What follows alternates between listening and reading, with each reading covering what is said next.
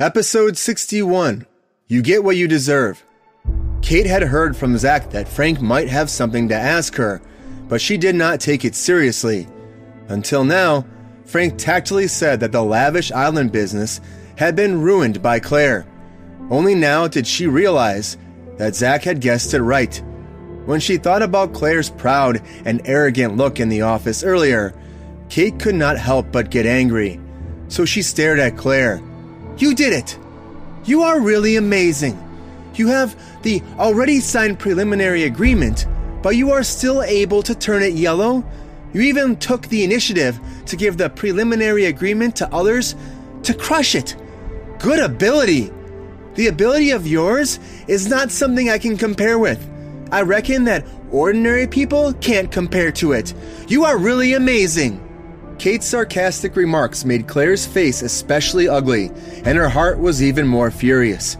Thus, she could not help but reply, Of course I am inferior to you. Who would know that I am not as good as you? Did you reply by splitting your legs to take down the lavish island business? These words entered her ears. Kate was extremely angry at that time. This was too insulting. However, before she could say anything, Frank spoke from the other side and reprimanded Claire severely. How can you say that? As a girl, you talk nonsense all day long. Do you have any sense of propriety or shame? Let me tell you, Kate relies on her ability. This is reflected in the seasonal agreement. As a cousin, your ability is not as good as hers. Yet you are jealous and slandering her? What kind of words are you talking about? After a round of scolding, it was as if the gang did not want to help their relatives. It looked as if they were being righteous. But in reality, Frank did not have any words to say. He boasted in front of the group of the old men that the lavish island's business must be taken down. Now, he was counting on Kate to come out again of course, he had to try his best to please her. After that, Frank turned his head to look at Kate with a kind smile on his face. Kate, look at the business of the lavish island. Do you want to talk to them again? They, I'm not going. Kate did not give Frank a chance to finish his sentence. She immediately rejected him. Whoever wants to go, can go. She then pointed at Claire. Didn't you send her earlier? She has the ability. Go again. At this time, Claire's face grew longer and more sullen. On the side, Frank's old face was filled with embarrassment and disappointment. However, no matter how unhappy he was with Kate in his heart, he still had to force a smile on his face. Yes, Kate, it was all your cousin's fault before, but her starting point was also good. She wanted to help the company, but she was anxious and did not take care of your feelings. I apologize to you on her behalf. I'm sorry. But Kate, look, the Lavish Islands business is a big deal after all. It is a, a symbol of the Conroy Group's ability, and it will raise the level of everyone's understanding. So, for the sake of the company, you have to work harder, make a trip Frank poked Kate's heart. If it was not for her grandfather's illness, the Conroy Group, she would not bother to meddle in this matter. After deliberately delaying Frank for a long time, Kate finally agreed. Okay. Frank was all smiles at that time. He also heaved a long sigh of relief in his heart. But at that moment, Kate touched her left cheek and added, But what about my face? It seems like there are some side effects. Upon hearing this, Frank was so angry that he was garnishing his teeth. He knew that Claire had slapped Kate, but he did not take it seriously at first. Instead, he felt that it was a good slap. But now that Kate mentioned this matter again, Frank pretended to ask what had happened. Kate said what happened in the office that day when Claire insulted her and claimed she only got the contract because she opened her legs. She slapped me seven times a total of seven slaps. She is my cousin, and she slapped me so many times. Claire was very angry at this time. You bitch! What seven slaps? There was clearly only one I. Before she could finish her words, a big slap landed on Claire's left cheek. Claire was stunned. She stood where she was and stared blankly at Frank. She did not understand what was going on. At this time, Frank's face was full of anger. Bitch! She is my niece! How can you dare hit my niece?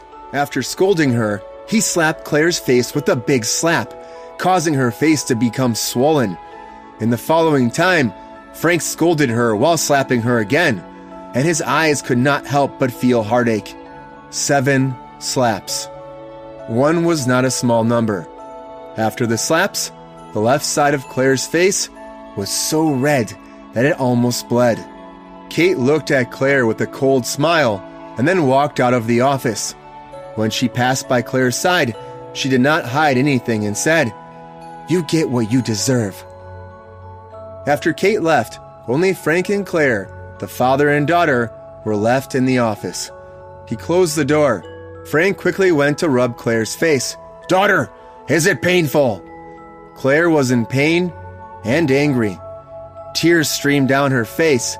Dad, are you helping her bully me like this? Are you really my father? Frank's face instantly turned bitter. Hey, Dad had no other choice. Just take it as it's for Dad's sake. Bear with it. After this matter is over, we'll teach Kate a good lesson. Dad promises to let her receive 70 slaps, 700 slaps.